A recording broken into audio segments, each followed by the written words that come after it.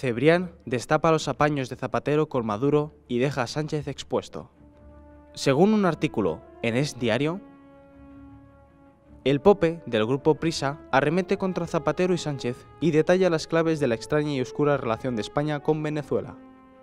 El presidente del grupo Prisa, exdirector de El País y amigo íntimo de Felipe González, Juan Luis Cebrián, ha soltado este lunes una auténtica bomba contra José Luis Rodríguez Zapatero y por extensión contra el gobierno de coalición de Pedro Sánchez y Pablo Iglesias.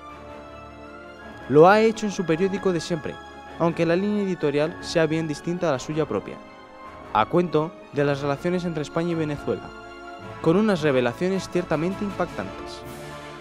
Hay quien piensa que el gobierno es rehén de Venezuela debido a la presencia de Podemos, pero la mayor amenaza que puede esgrimir Caracas es desvelar la naturaleza oculta de las gestiones de Zapatero con Maduro o el origen de los millones de dólares depositados en Suiza por su antiguo embajador.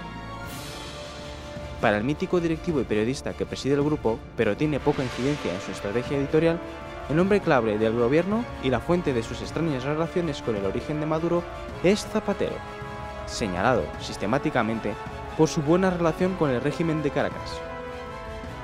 El encuentro con Delcy.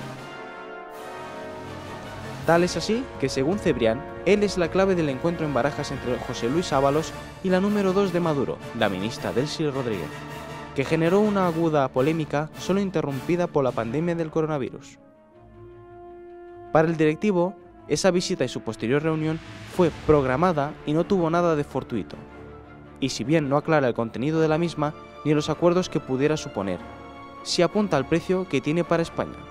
El gobierno tiene una hipoteca con Maduro y el culpable de la misma es, según su artículo, Zapatero.